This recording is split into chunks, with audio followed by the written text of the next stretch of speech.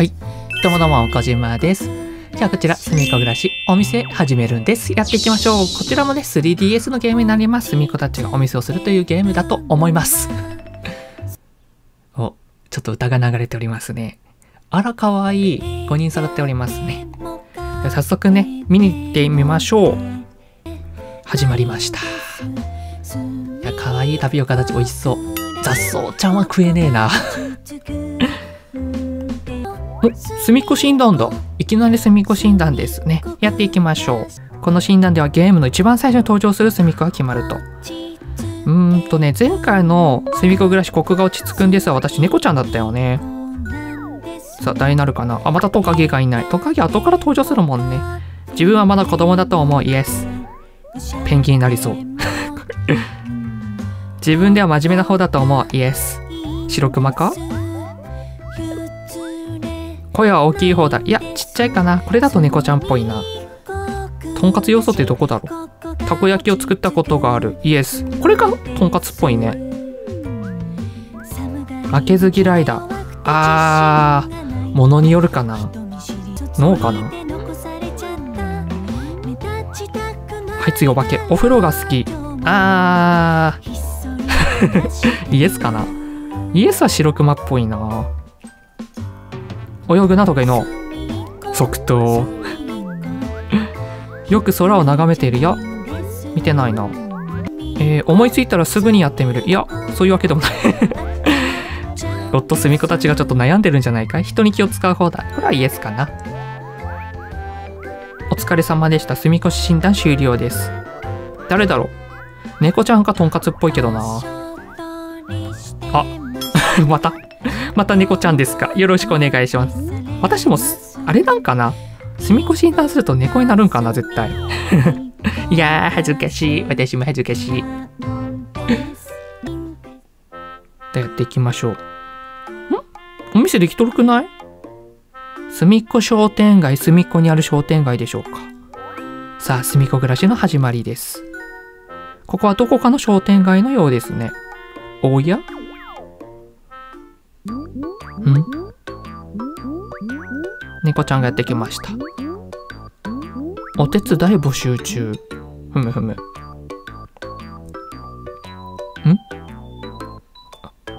バイトするの？あら？猫ちゃんのお財布だ。チラ、チラ。うーん、お金がないな。これはバイトせんといかんばい。よし、ここのお手伝いでもやっていくか。あー、どうしよう。でもな。いやー、怖いな。バイト、初めてのバイト、怖いな。ん？すみっこ？ジム？ジム？え？痩せる？すみっこジムがオープンしました。え？あるんだ、すみっこジムって。へえ、そうなんだ。私ね、ちょっと他の動画ですみっこジムっていう漫才を作ったんですよね。これあったんだ。あらまあ。で、ジムで働くんだって、猫ちゃん。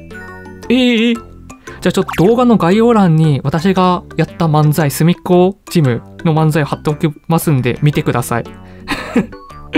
面白くしてるんで、ジムをタッチしてみましょう。えーと、これ、あ、1、2、3、4、8個もあるんだね、お店。え商店街とライブ会場ってある？なんだろう、ライブ会場って。歌うんかな？猫は、あ、いましたね。なんもないじゃん、ここ。下画面で猫のボタンをタッチして、もっと近くで観察してみよう。これか。はい。頑張ってお仕事してる？してる？これ。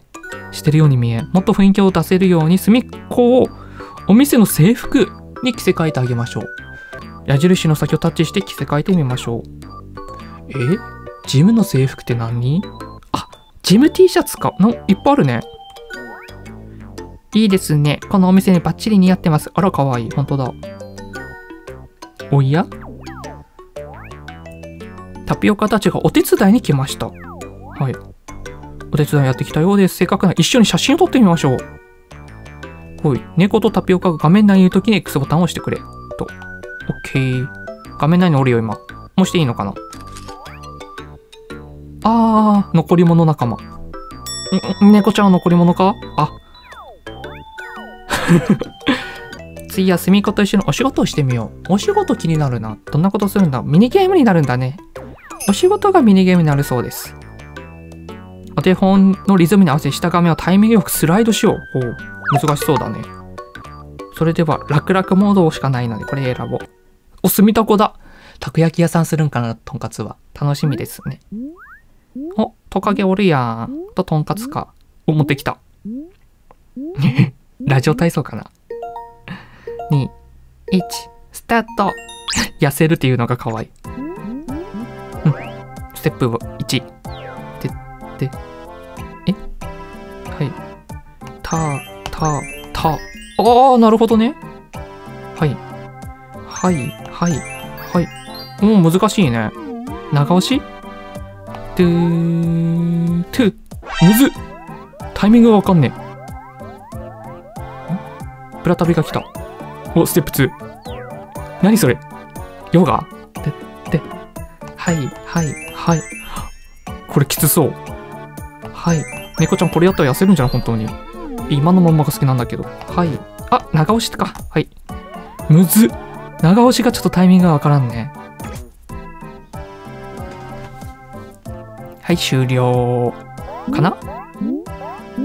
点数低いかなちょっと難しかったな。汗めっちゃかいとる。すげえ運動しとるやん。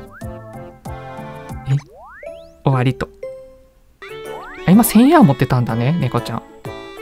新記録すごい。褒めてくれてありがとう。お疲れ様でした。上手にできましたか？いやー、そうでもないなそれにしてもなんだかお店の雰囲気は寂しいですね。それは思った。こんな時はお店に置けるアイテムを買いに行きましょう。